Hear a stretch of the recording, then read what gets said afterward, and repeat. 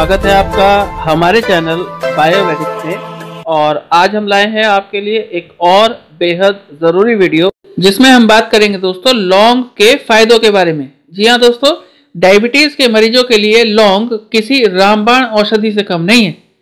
आज के वीडियो में हम आपको इसकी पूरी डिटेल देंगे और बताएँगे लौंग का इस्तेमाल कैसे करें, जिससे आपकी ब्लड शुगर लेवल कंट्रोल में रहे।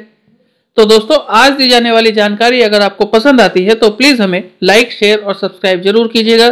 तो आइए शुरू करते हैं वीडियो और मैं आपको बताऊँ, आज के समय में डायबिटीज़ देश और दुनिया दोनों के लिए एक व्यापक समस्या बनी हुई है। और अगर भारत की बात करें दोस्तों तो लगभग सात करोड़ से ज़्यादा लोग कहीं ना कहीं डायबिटीज़ के शिकार हैं। और वास्तव में ये संख्या इससे कहीं ज़्यादा है, क्योंकि कई लोगों को तो ये पता ही नहीं होता कि उन्हें डायबिटीज़ है। दोस्तों, इसके लक्षण बहुत सामान्य है शुरुआत में, इसीलिए इसे कहीं ना कहीं धीमा जहर या स्लो पॉइजन भी कहते हैं डायबिटीज़ को। और आप समझिए कि किसी भी डायबिटीज़ के मरीज़ को ब्लड शुगर को कंट्रोल करना, यानी डायबिटीज़ को कंट्रोल करना बेहद ज़रूरी होता है। दोस्तों, आज हम इसी के बारे में आपको बताने वाले हैं कि हमारी रसोई में बहुत सारे ऐसे फ़ूड आइटम्स हैं जो कहीं ना कहीं डायबिटीज़ को कंट्रोल करने के लिए कारगर हैं। और आज हम उन्हीं में से किसी एक फ़ूड आइटम की बात करने वाले हैं। जी हाँ दोस्तों, आज हम बात करने वाले हैं लौंग की, यानी डायबिटीज़ में लौंग के अपने फ़ायदे हैं।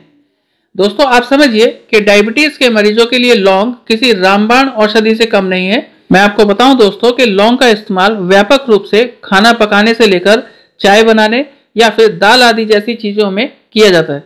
दोस्तों औषधीय गुणों से भरपूर लौंग स्वास्थ्य के लिए बेहद फ़ायदेमंद है और इसके सेवन से सर्दी, खांसी, सिरदर्द या अन्य बीमारियों से आसानी से छुटकारा पाया जा सकता है। मैं आपको बताऊँ दोस्तों कि लौंग में एंटी इन्फ्लेमेटरी और एंटीवायरल गुण हैं, जो इसे और उपयोगी बनाते हैं। दोस्तों, लौंग में कुछ खास केमिकल पाए जाते हैं, जो हमारे ब्लड शुगर लेवल को कंट्रोल करते हैं। खास तौर पे इसमें नाइग्रेसिन पाया जाता है दोस्तों, और ये नाइग्रेसिन जो है, वो हमारी इंसुलिन सेंसिटिविटी में सुधार लाता है। दोस्तों डायबिटीज़ के मरीज़ अलग अलग तरीके से लौंग का सेवन कर सकते हैं। जैसे कि लौंग को हमेशा चूसना चाहिए एक्सपर्ट्स कहते हैं, उसे निगलना नहीं चाहिए, इससे इसका फ़ायदा ज़्यादा मिलता है। इसके अलावा दूसरा तरीका है दोस्तों, कि डायबिटीज़ के मरीज़ खाने में लौंग डालकर भी खा सकते हैं।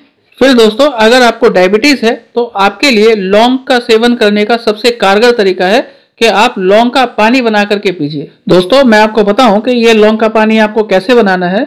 तो सबसे पहले चार से पाँच लौंग को थोड़े से जीरे में, यानी लगभग आधा चम्मच जीरे में भून लीजिए, फिर इसको ग्राइंड कर लीजिए। दोस्तों, अब क्या करना है कि एक पैन में लगभग एक से डेढ़ कप पानी लेकर के उसमें इस पाउडर को डालिए और लगभग दो चिटकी दालचीनी डाल दीजिए और फिर इसको उबलने के लिए छोड़ दीजिए।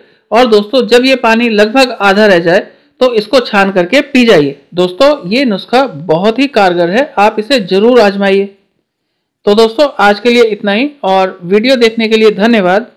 आज दी गई जानकारी अगर आपको पसंद आई हो तो प्लीज़ हमें लाइक और शेयर ज़रूर कीजिएगा, और अगर आप हमारे चैनल पर नए हैं तो प्लीज़ हमें सब्सक्राइब भी करें।